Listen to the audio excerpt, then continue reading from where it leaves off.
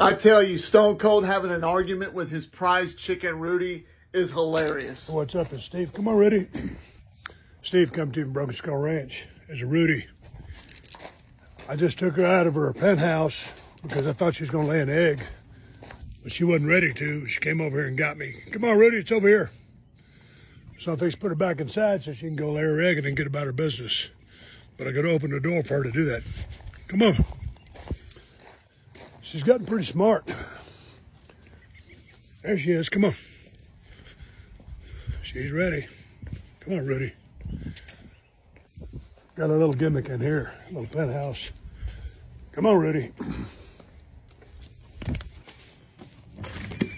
Oh, baby. Come on, baby. Come on. Come on, Rudy. You wanted to come in here. There's a little setup right there. And she sleeps up top. Okay. But I, I I just can't just leave her in here in a garage because she'll shit everywhere. But she's coming in here to do business, lay an egg. Well, then she's more than welcome to come on in here. Come on, we'll go do your thing. You want, you came and got me. Well, do you want to lay an egg or do you not want to lay an egg? Sometimes she wants me to catch her and put her in there, and she'll make catching her pretty easy. Oh, you little motherfucker. Rudy, and see, you can't let these white leghorns in there because they'll shit everywhere like a crippled goose, although they're chickens. Rudy, do you want to lay an egg or do you not want to lay an egg? Come here, baby. I'm gonna hit the stop button. I'll get back with you in a minute. Rudy, we can do this easy way or the hard way. Rudy says, hey, fuck you, let's do it the hard way. I'm out. All right, here we are, part two. Rudy has entered the building.